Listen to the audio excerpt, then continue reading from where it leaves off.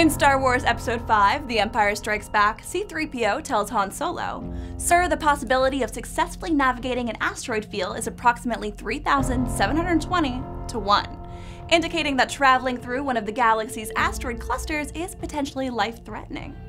Many people have hung on to the belief that the asteroid belt is littered with these huge rocky objects just waiting to strike any spacecraft that passes by.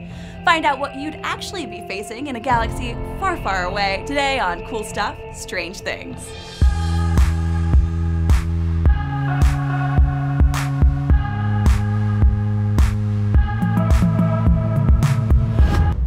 While it's true that the universe contains millions of asteroids, some of which that can be hundreds of miles wide, it's unlikely that a ship would collide with any of them in the main asteroid belt.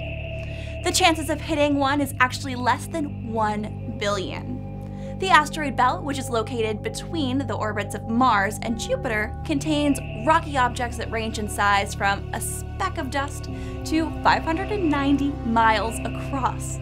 It is unclear how many asteroids populate the belt, but it may consist of billions, maybe even trillions of asteroids. Fortunately, they are widely spread apart, allowing us to safely explore the area. In 1972, scientists launched the space probe Pioneer 10 into the asteroid belt. Images from flyby missions revealed that the rocky objects had miles of space between them. And by miles, we're talking like 600,000 miles. To put that in perspective, the distance between the Earth and the Moon is 238,855 miles.